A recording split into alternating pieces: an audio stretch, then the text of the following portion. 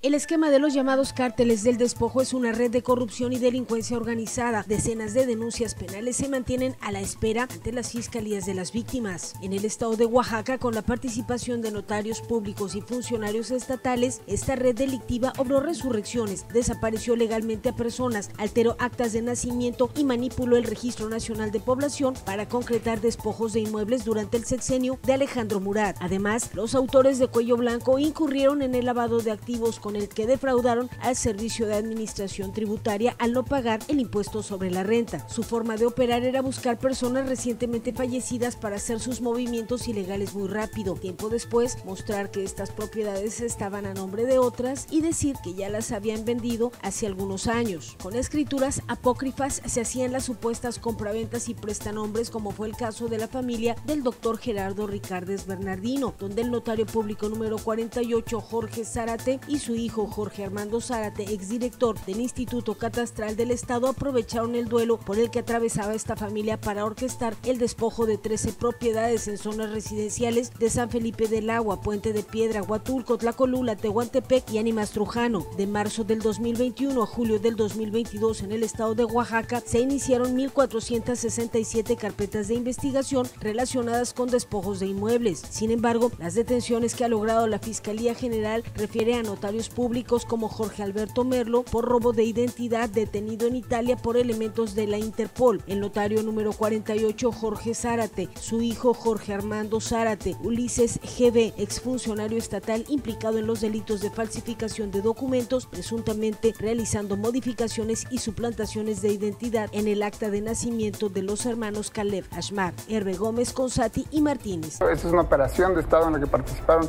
los titulares de las dependencias. Dejamos de existir jurídicamente en el planeta y con nosotros, pues nuestros vínculos familiares y obviamente nuestro patrimonio. Mega Noticias con Iba Igorria.